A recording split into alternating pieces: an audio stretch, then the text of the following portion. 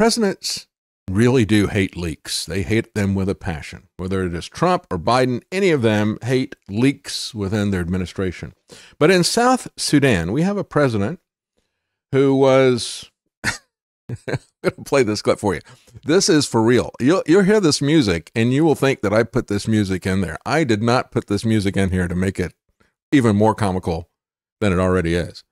Uh, this is a president who's standing at attention with a bunch of um, of his officials there, and as he's standing at attention, he starts wetting himself, and you can see this dark stain start on his pants and move down, and then starts to puddle at his feet. At uh, one point, he looks down to see what is happening. That's our actual national anthem.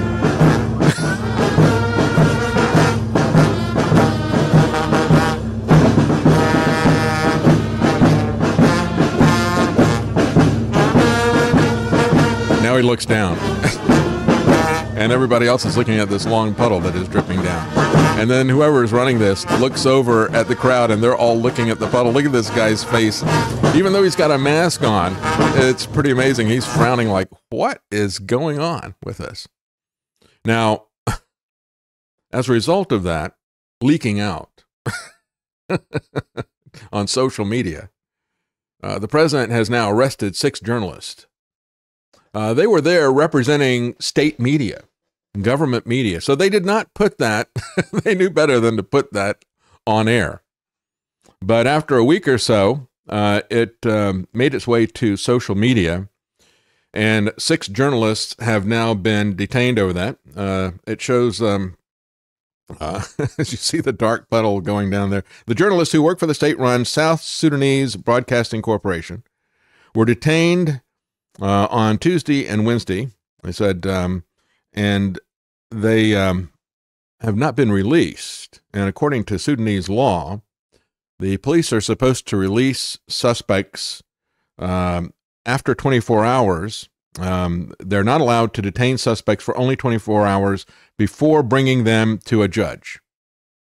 So they should have been brought before a judge, arraigned, or whatever.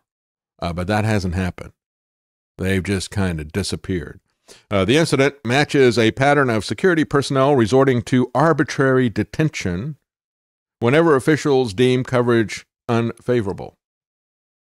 Now, I just ask you are, are we that different from uh, this you know, third world dictatorship here?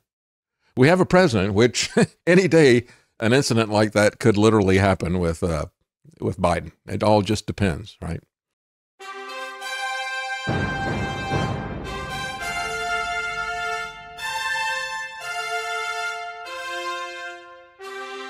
The Common Man. They created Common Core to dumb down our children. They created Common Pass to track and control us. Their Commons Project to make sure the commoners own nothing. And the communist future. They see the common man as simple, unsophisticated, ordinary. But each of us has worth and dignity created in the image of God. That is what we have in common. That is what they want to take away. Their most powerful weapons are isolation, deception, intimidation. They desire to know everything about us while they hide everything from us. It's time to turn that around and expose what they want to hide. Please share the information and links you'll find at thedavidknightshow.com. Thank you for listening. Thank you for sharing.